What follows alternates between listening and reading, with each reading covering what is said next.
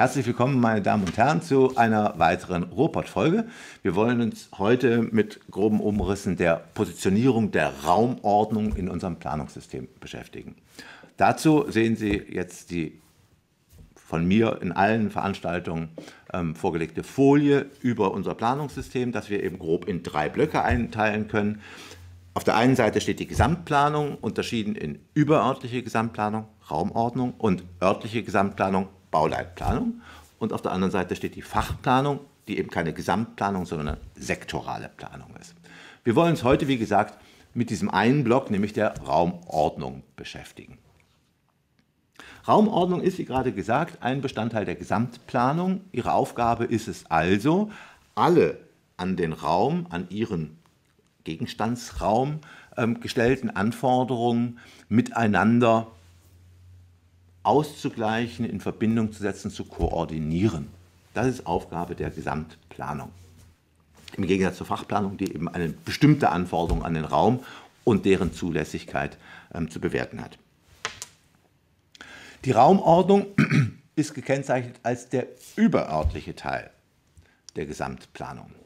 Das liegt daran, dass wegen der Planungshoheit der Gemeinde, Artikel 28 Absatz 2, wir werden uns damit auch nochmal beschäftigen, wegen Artikel 28 Absatz 2 die städtebauliche, die örtliche Planung in den Bereich der Planungshoheit der Gemeinde fällt und dementsprechend als staatliche Planung oder als staatlich kommunales Kondominium, die Raumordnung, nur diese überörtlichen Aspekte umfasst. Das heißt aber nicht, dass Raumordnung und Bauleitplanung unverbunden nebeneinander stehen, sondern die stehen in einem vielfältigen Verbindungsverhältnis zueinander.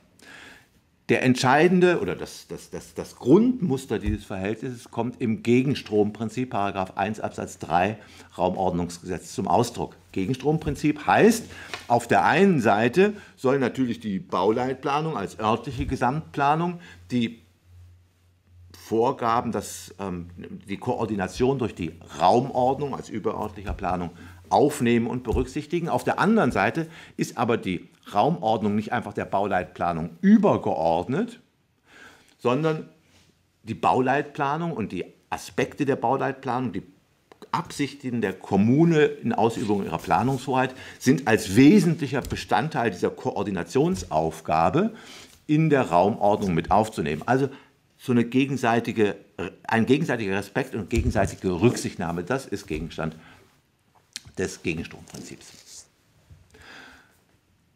Das heißt aber nicht, dass es nicht auch hierarchische Elemente in diesem Verhältnis gäbe. Das Wichtigste, meine Damen und Herren, ist Paragraph 1 Absatz 4 BauGB. Paragraph 1 Absatz 4 BauGB sagt, die Bauleitpläne sind an die Ziele der Raumordnung anzupassen. Diese Anpassungspflicht bringt zum Ausdruck, dass Ziele der Raumordnung für die Bauleitplanung verbindlich sind.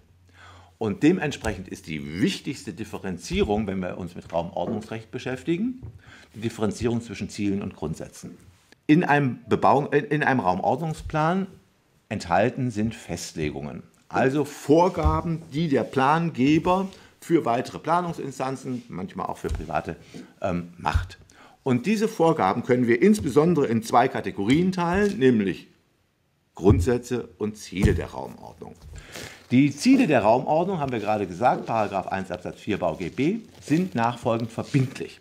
Das liegt daran, dass die Ziele der Raumordnung auf der Raumordnungsebene endabgewogen sind, das heißt einer weiteren planerischen Abwägung nicht mehr zugänglich sind. Und das heißt, sie begrenzen die weitere planerische Abwägung. Sie sind deshalb zu beachten. Demgegenüber sind die Grundsätze der Raumordnung eine Hervorhebung bestimmter Belange. Das gibt diesen Belangen in weiteren Abwägungsprozessen dann eine besondere Bedeutung, ein besonderes Gewicht.